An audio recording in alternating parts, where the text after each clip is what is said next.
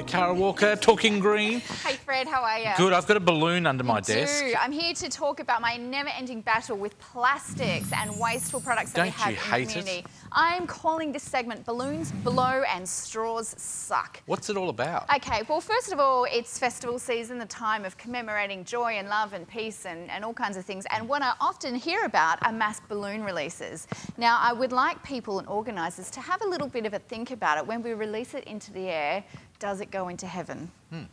No. I don't think the so. angels take it away and in memory of the loved one that it Is goes that a off. trick Do you know what? When it's released, no, I don't think you should honour someone's life with the death of a turtle or a dolphin. I Yep. really don't think that's very honorary. What happens is it, the balloon companies are saying that they explode and tiny pieces of it disintegrate or go into different places where they don't really affect the atmosphere. They're now, these days, they're trying to make them from natural latex. Yes, natural latex is biodegradable. However, to make a balloon, they also add in a whole load of other chemicals. It's not biodegradable. It is eventually hmm. degradable, but it can take up months and years. And in that time, these can greatly affect the environment and many ecosystems. They can travel for hundreds of kilometres, reaching into our oceans where they can be ingested by turtles, dolphins, all kinds of things. They are actually been, they've been reported to affect birds when they're in the sky. And you see, a lot of people wouldn't even know that. No, they don't. We don't think about it. So these ribbons here, even though we're making these now apparently, you know, the, the more decent ones from biodegradable latex, these, this thick ribbon, this cord, this is very, this would take hundreds, thousands of years to break down. If you're a bird flying in a flock, this would affect you straight away. I actually have a picture I would like to show you. This Let's may have a look. offend some people. There you go. Um, this, this doesn't need to happen. This is a bird that's been affected by, a, you know, it seems like such a common happy thing. A balloon floating away with a string. However, it's been hit and, and taken down. This shouldn't happen. So what I want to say to people is think about it. When you are organising these, these mass releases, or if you hear about one being organised, can you rethink of something maybe a little bit more? Yes, thank I'm you. letting it go. I'm letting it go. Can we think of something? Let's instead of you know killing the environment, why don't we organise a tree planting? You know, grow life rather than kill life. I think that's much more I use sustainable. lanterns instead of Yeah, balloons. light a candle. You know, blow bubbles if you need to blow things. I actually I like the idea of you know when people um, pass away and, and the the grave goes down, people the the body goes down. People like to release balloons. That's what's mm. been said for a while, especially for someone young and vivacious who has passed away.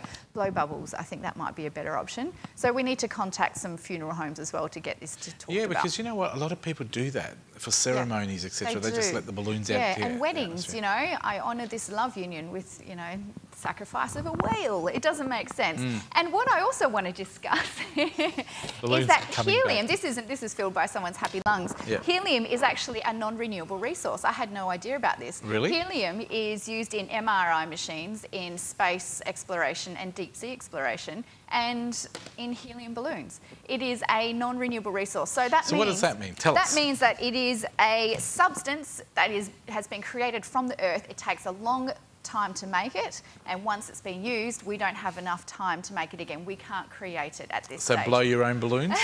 Use your, your lung air. We don't need, and the helium in it is what makes it float away. So don't use helium. So yeah, in general, balloons blow. or if you're going to let balloons out into the air, make sure you have one of those guns and shoot them down straight away. and have someone collect all that debris Yes, that's laying around. that's yes, it. thank you very much. Next up, straws. Um, these are party paraphernalia. Hmm. Such simple things, but they are greatly effective. Can you imagine how many of these little guys are being used? Thousands. Yes, millions, Thousands and billions. millions around okay, so let's look at a straw. It's made from yeah, thick McDonald's. shakes. It's immediately put into drinks in bars, in fast Yep. food stores. What you need to say, we need to get into the habit, is no straw, please. If every single person started doing this, there will no longer be a movement. And you're 100% right. I've just come back from Bali, and no matter whether you ask for it or not, every single drink comes with a It straw. It goes straight in there. Why do we need to suck it out of a straw? We've got these amazing mouths that can hold. We've got this hand and and Australians like to scull, so they can't scull with a straw. You know? No, We you're right. You're 100% this, right. Well, this is made from plastic. Again, a plastic, it's a Mm. non-renewable resource. Plastic is fossil fuels. Takes 300 million years to create this straw. And how long do you use it to go like this? Yeah, exactly. It's Kids' gone. parties, And then how long does it sit in the environment? It's ridiculous. So we need to get into the habit. In children, adults, parents, whatever your function, no straws, please. This is what we need to say. This here is a um, this is a balloon holder. It's oh yes, I know what they yeah, are. They Bring are, me the yeah. balloon, Adrian. He's going to just walk over the balloon. Oh, thanks, Adrian. Nearly got it there. There we go. So these would normally be at the end of the balloon. They like would, that. and these little fan dangles, And and, then they put them there, and yeah, it's it's And ridiculous. I really I don't agree with it. However, I'm going to put up a whole load of information about this. If we can look onto the Couch website, Yep. and what I'm going to do, I'm going to run up a whole big essay. If you click onto the segment guide. Yep. And you will see me smiling there. There's going to be information on balloons blow and straws suck. Pop- oh, put I an end- stand balloons. Put an end to balloons, I say. Put an end. Come, come Destroy. on. Get Destroy. in contact with your event organisers and say this isn't on. We do not sacrifice dolphins and turtles for the sake of these balloons. Let's plant a garden instead. Thank you very much, Fairy Karen. We're going to listen to you. her because if she knows everything about the environment. Thecouch.com.au, click on her website, and she's got everything there. Thank you for coming in today. Thanks, Fred, for having me. And it's always nice to have a fairy in the studio. Always Well, lovely to see you. We have a couple on the floor, but they're completely different fairies.